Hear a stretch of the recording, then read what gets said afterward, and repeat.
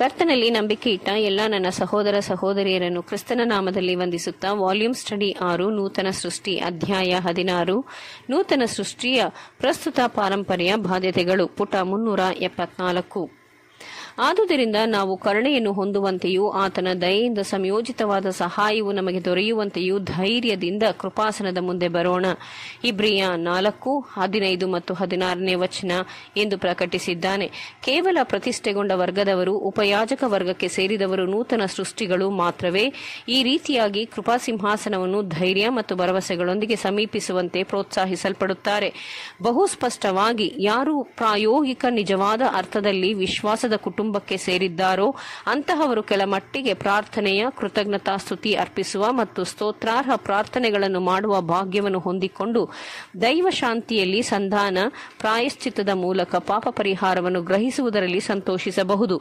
ಆದರೆ ಧೈರ್ಯದೊಡನೆ ಅಥವಾ ಬೇರೊಂದು ರೀತಿಯಲ್ಲಿ ಮಹಾಪರಿಶುದ್ಧ ಸನ್ನಿಧಿಗೆ ಬರುವ ಭಾಗ್ಯ ಅವರದಲ್ಲ. ಕೇವಲ ತಮ್ಮನ್ನು ಪ್ರತಿಷ್ಠಿಸಿಕೊಂಡವರು, ನೂತನ ಸೃಷ್ಟಿಗಳು, ಯಾಜಕೋದ್ಯಕ್ಕೆ ಸೇರಿದ ಸದಸ್ಯರುಗಳು ಪ್ರಾರ್ಥನೆಯ ಮೂಲಕ ದೇವರ ಸನ್ನಿಧಿಯಲ್ಲಿ ಈ ವಿಶೇಷ ಅರ್ಥದಲ್ಲಿ ಪ್ರವೇಶಿಸುವ ಭಾಗ್ಯ ಹೊಂದಿರುತ್ತಾರೆ. ಆದುದರಿಂದ ಅವರುಗಳು ಮಾತ್ರವೇ ಒಡೆಯನು ವಾಗ್ದಾನ ಮಾಡಿದ ಆನಂದದ ಪರಿಪೂರ್ಣತೆಯನ್ನು ಅನುಭವಿಸುತ್ತಾರೆ. ಈ ಕಾರಣದಿಂದ ನಾವು ಅವಿಶ್ವಾಸಿಗಳಿಗೆ ಪ್ರಾರ್ಥನೆಯ ಔಚಿತ್ಯವನ್ನು ಸಲಹೆ ಮಾಡದೆ ಮೊದಲಿಗೆ ಪೇತ್ರನು ಕೊರ್ನೇಲ್ಯನಿಗೆ ನೀಡಿದಂತೆ ಅವರಿಗೆ ವಾಕ್ಯೋಪದೇಶವನ್ನು ನೀಡಬೇಕು.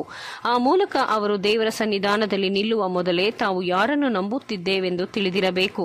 ಪರಂತು ಕರ್ತನಾದ ಯೇಸು ಕ್ರಿಸ್ತನನ್ನು ನಂಬಿದವರೆಲ್ಲರೂ ಆತನ ಮೂಲಕವೇ ತಂದೆ ದೇವರಿಗೆ ಪ್ರಾರ್ಥನೆ ಮಾಡುವಂತೆ, ಕೃತಜ್ಞತಾ ಸ್ತೋತ್ರ ಭಿನ್ನಹಗಳನ್ನು ಅರ್ಪಿಸುವಂತೆ ನಾವು ಪ್ರೋತ್ಸಾಹಿಸುತ್ತೇವೆ. ಅಂತಹವರಿಗೆ ಅವರ ನೀತಿ ನಿರ್ಣಯವು, ಸ್ಥಾನವು ದೇವರ ಚಿತ್ತದ ನೆರವೇರಿಕೆಯಲ್ಲ, ಆದರೆ ದೇವರ ಸನ್ನಿಧಾನವನ್ನು ಸಮೀಪಿಸುವ ಸರಿಯಾದ ಕ್ರಮದ ಆರಂಭ ಎಂಬುದನ್ನು ಮುಕ್ತವಾಗಿ ಅರ್ಥ ಮಾಡಿಕೊಳ್ಳಲು ಬಿಡಬೇಕು. ಇದು ಆ ಸಮೀಪಿಸುವಿಕೆಯ ಮೊದಲ ಹೆಜ್ಜೆಯಾಗಿದೆ. ದೇವರ ಚಿತ್ತಕ್ಕೆ ಪರಿಪೂರ್ಣವಾಗಿ ಪ್ರತಿಷ್ಠಿಸಿಕೊಳ್ಳುವ ಎರಡನೆಯ ಹೆಜ್ಜೆಯನ್ನು ಪ್ರಾರ್ಥನೆಯ ಯುಕ್ತವಾದ ಭಾಗ್ಯವನ್ನು ದೇವರೊಂದಿಗೆ ಅನ್ಯೂನ್ಯತೆ ಮತ್ತು ಅವುಗಳಿಗೆ ಹೊಂದಿಕೊಳ್ಳುವ ಪರಿಪೂರ್ಣ ಆನಂದಗಳನ್ನು ಅನುಭವಿಸುವವರಿಗೆ ತೆಗೆದುಕೊಳ್ಳಬೇಕು. ಎರಡನೆಯ ಹೆಜ್ಜೆಯನ್ನು ತೆಗೆದುಕೊಳ್ಳುವುದರಲ್ಲಿ ಸೋಲುವುದರ ದೇವರ ಕೃಪೆಯನ್ನು ಅಂದರೆ ನೀತಿ ನಿರ್ಣಯವನ್ನು ಹೊಂದಿಕೊಳ್ಳಲು ವ್ಯರ್ಥ ವಿಫಲತೆಯನ್ನು ಪ್ರವೃತ್ತಿಯನ್ನು ಅರ್ಥೈಸುತ್ತದೆ.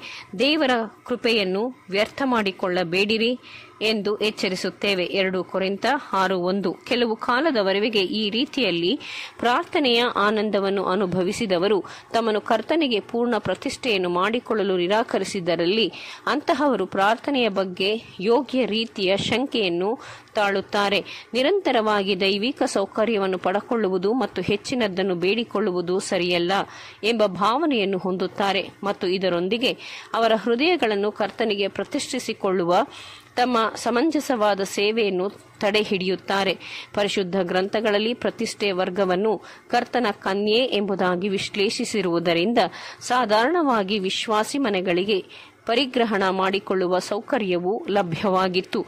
ನೂತನ ಸೃಷ್ಟಿಯು ಕರ್ತನು ಪರಿಗ್ರಹಿಸಿದ ಕನ್ಯೆಯಂತೆ ತಮ್ಮ ಹೃದಯ, ನಾಲಿಗೆ, ಎಲ್ಲಾ ಶಕ್ತಿ ಮತ್ತು ಚೈತನ್ಯವನ್ನು ತನ್ನ ಒಡೆಯನಿಗೆ ಮತ್ತು ಆತನ ಸೇವೆಯಲ್ಲಿ ಶರಣ, ಶರಣಾಗಿಸುವುದರಿಂದ ಆತನಿಂದ ಆಶೀರ್ವಾದಗಳನ್ನು, ಸೌಕರ್ಯಗಳನ್ನು, ಸಂರಕ್ಷಣೆಯನ್ನು, ಮೇಲ್ವಿಚಾರಣೆಯನ್ನು ಮತ್ತು ಆತನು ತಾನು ಪರಿಗ್ರಹಿಸಿದ ಕನ್ಯೆಗೆ ಸಂತೋಷವಾಗಿ ವಾಗ್ದಾನ ಮಾಡಿದ ಬಹುಮಾನಗಳನ್ನು ಅವರು ಸಮಂಜಸವಾಗಿ, ಕೃತಜ್ಞತಾಪೂರ್ವಕವಾಗಿ ಅಂಗೀಕರಿಸಿಕೊಳ್ಳುತ್ತಾರೆ.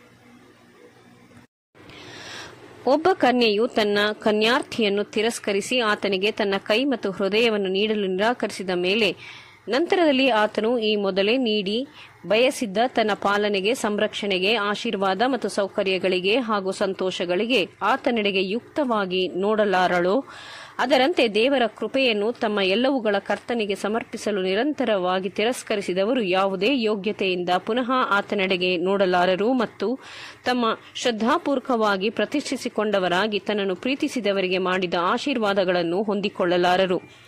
ಕರ್ತನ ಕೈಗಳಿಂದ ಕೇವಲ ಪಾಪ ಪರಿಹಾರವನ್ನು ಅಂಗೀಕರಿಸಿದವರಿಗೂ ಮತ್ತು ಆ ಸಮರ್ಥನೆಯನ್ನು ಉಪಯೋಗಿಸಿಕೊಂಡು ತಮ್ಮನ್ನು ಕರ್ತನಿಗೆ ಪ್ರತಿಷ್ಠಿಸಿಕೊಂಡು ಆತನೊಂದಿಗೆ ಪೂರ್ಣವಾದ ಸಂಬಂಧ ಇಟ್ಟುಕೊಂಡವರಿಗೂ ಇರುವ ವ್ಯತ್ಯಾಸವನ್ನು ಸರಿಯಾಗಿ ಗ್ರಹಿಸಬೇಕು. ನಂಬಿಗಸ್ತರಾದ ವಿವಿಧ ವರ್ಗಗಳ ನಡುವೆ ದೈವಿಕವಾಗಿ ಎಳೆಯಲ್ಪಟ್ಟ ಈ ಗೆರೆಗಳು ಎಷ್ಟು ಸ್ಪಷ್ಟವಾಗಿ ಯಾರೂ ಗ್ರಹಿಸಿಲ್ಲವೆಂಬುದು ಸತ್ಯ. ವಿಶ್ವಾಸಿಗಳಿಗೂ ಅವಿಶ್ವಾಸಿಗಳಿಗೂ ಇರುವ ವ್ಯತ್ಯಾಸವನ್ನು ತೀವ್ರವಾಗಿ ತೀರ್ಮಾನಿಸಬೇಕು. ಮೊದಲಿನ ಎಲ್ಲರನ್ನೂ ವಿಶ್ವಾಸದ ಮನೆಯ ಸಹೋದರರು ಎಂದು ಪರಿಗಣಿಸಬೇಕು. ಆದರೆ ಎರಡನೆಯವರನ್ನು ಹಾಗಲ್ಲ. ಪುನಃ ತಮ್ಮ ಪ್ರತಿಷ್ಠಿಸ, ಪ್ರತಿಷ್ಠೆ ಮಾಡಿಕೊಂಡಿರುವ ವಿಶ್ವಾಸಿಗಳಿಗೂ, ಪ್ರತಿಷ್ಠೆ ಮಾಡಿಕೊಳ್ಳದವರಿಗೂ ಇರುವ ವ್ಯತ್ಯಾಸವನ್ನು ಸ್ಪಷ್ಟವಾಗಿ ಕಂಡುಹಿಡಿಯಬೇಕು ಮತ್ತು ಮೊದಲಿನವರನ್ನು ಸಭೆ ಎಂದು ನೂತನ ಸೃಷ್ಟಿ ಎಂದು ರಾಜವಂಶ ಯಾಜಕ ವರ್ಗದವರೆಂದು ಗ್ರಹಿಸಬೇಕು. ಇವರಿಗೆ ಮೀಸಲಾದ ಮತ್ತು ಅಮೂಲ್ಯವಾದ ವಾಗ್ದಾನಗಳು ಸಲ್ಲುತ್ತವೆ. ಈ ವ್ಯತ್ಯಾಸಗಳನ್ನು ಸ್ಪಷ್ಟವಾಗಿ ಗ್ರಹಿಸಿಕೊಂಡಾಗ ಅವುಗಳು ಈ ಕೆಳಕಂಡಂತೆ ಪ್ರಾಯೋಜಿಕಕರವಾಗಿರುತ್ತದೆ ಎಂಬುವಂತೆ.